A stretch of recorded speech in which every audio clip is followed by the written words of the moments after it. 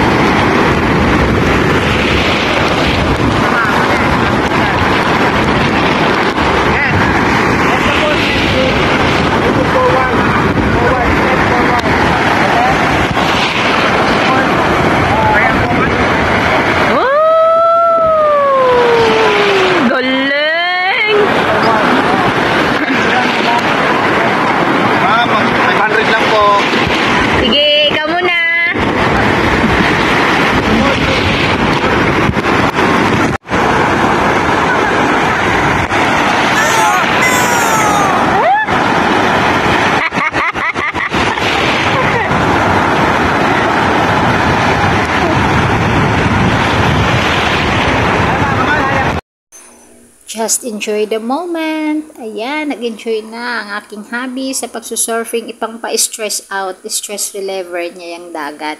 So, teamwork kami dito guys. Ako yung nagbantay sa mga kids kasi kailangan may nakafocus, nakatutok talaga sa kanila.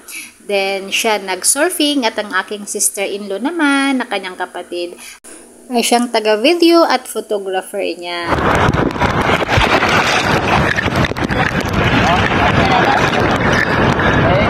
Mo yan.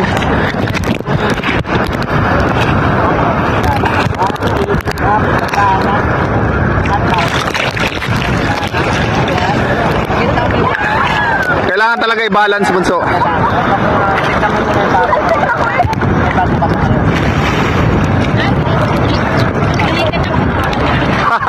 Bulikat. Bulikat.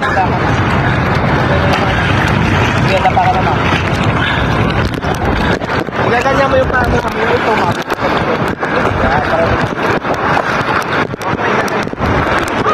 Saan si Mami? Boracay.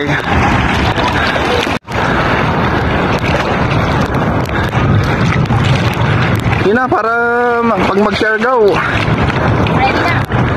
Balance mo talaga. Balance talaga bunso ng paa. Tapos move forward yung body. Hindi ko maano eh.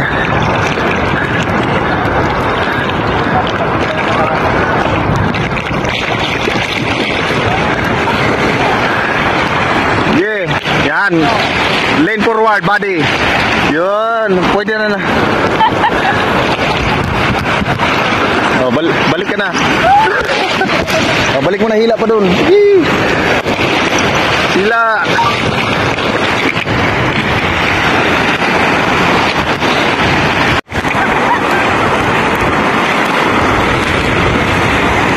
Surfing.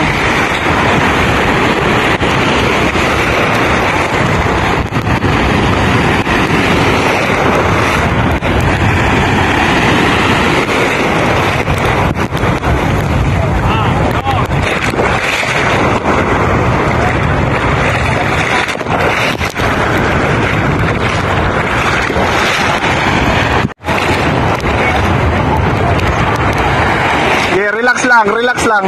Yan. Kunin mo na.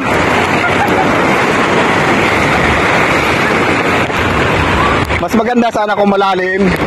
Pagbagsakan, oh.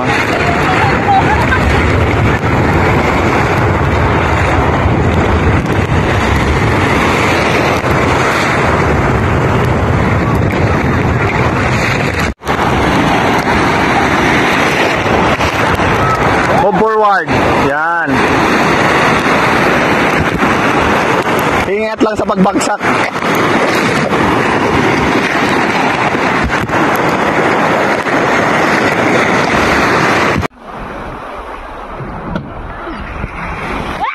So guys, thank you very much po. Once again, thank you very much po sa inyong panonood at sa patuloy na suporta sa aking mga videos and premiere.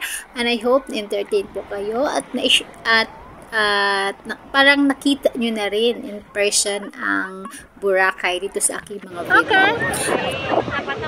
So ito guys, ang sandcastle. So right timing, right area yung aming napuntahan kasi itong sandcastle hindi talaga siya kung saan saan mo makikita doon sa Boracay na beach. Ano lang siya, by designated area lang siya in a day. So na-timingan namin, tamang lugar aming napuntahan. Kaso nga lang po, Tatlo lang kami ng aking bunso at ng aking asawa dahil ang aking eldest son ay sumama nang bumalik sa hotel kasama ng kanyang tita at pinsan.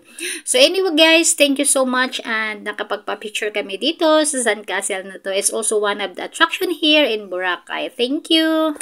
The serenade of the sea will never be the same. Serenade